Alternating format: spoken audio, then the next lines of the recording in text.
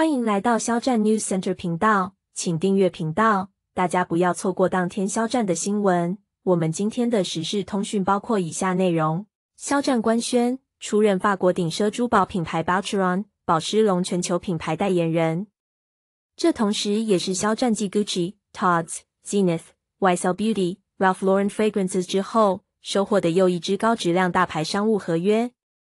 这种空降顶奢最高 title 全球代言人被视为不可思议，但看到官宣后立即井喷的数不清的晒单，小到几万，大到几十万甚至百万，那么这种不可思议发生在肖战身上，就成为顺理成章了。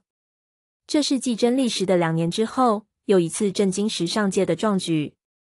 何谓空降？为什么说是不可思议？顶奢和高奢在甄选代言人时。通常会对艺人进行考察，考察期内艺人会穿戴品牌的服饰参加公开活动。考察期少则一两年，多则好几年。有些人经过考察，或许不能如愿得到品牌 title，即使通过了考察，一般也是从小的 title 做起，比如大使、支线代言人或区域代言人。就拿宝诗龙另一位代言人为例，他在十七年得了金马影后才进入考察期。十八年成为大中华区品牌代言人，十九年成为品牌代言人，二十二年才成为全球品牌代言人。而肖战此前从未在公开场合佩戴过宝诗龙品牌珠宝，就直接空降最高 title 全球品牌代言人，是其他时尚界和演艺界人士所无法企及。按常规说，确实是不可思议。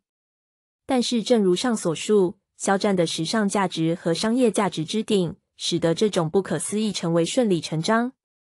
继国内官宣后，巴黎时间一千零五，宝诗龙在全球官网各大平台欣然宣布，肖战出任宝诗龙全球品牌代言人。这种全球卡点官宣、全球媒体争相报道的巨星待遇，也仅限肖战。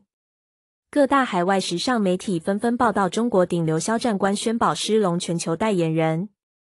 历史最悠久的权威时尚产业媒体 WWD 写道：“肖战演绎的不同角色真诚动人，屡受赞誉。日常生活中的他也始终保持真我性格。” Vogue 新加坡版写道：“肖战作为中国最知名的多才多艺的演员，这次老牌珠宝奢侈品牌张开双臂欢迎他。”从这些报道中可见一斑，肖战在时尚和商业的巨大价值，最终是源于他的演员价值。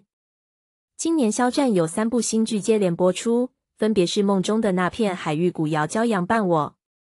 这三部新剧横跨年代剧、古装仙侠剧、现代都市剧这三大不同领域。这三部新剧充分体现了肖战的戏路之宽、潜力之大，他驾驭不同题材和不同角色都游刃有余。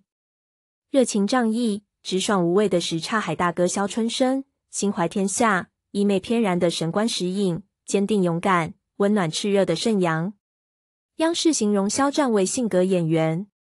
梦中的那片海、玉骨遥、骄阳伴我这三部新剧，在三个不同赛道上都取得了亮眼成绩，形成肖战自带的 IP 效应。肖战的演员价值进一步的提升，对他的时尚价值和商业价值给予更强的加持。宝诗龙全球执行总裁 Helene p o l a d u k a n 表示。我很高兴肖战能成为宝诗龙家庭中的一员。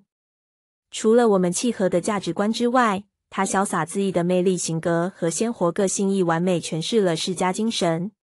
借由这次振奋人心的合作，我们也想再次证明宝诗龙在中国的影响力，这对于宝诗龙的全球战略至关重要。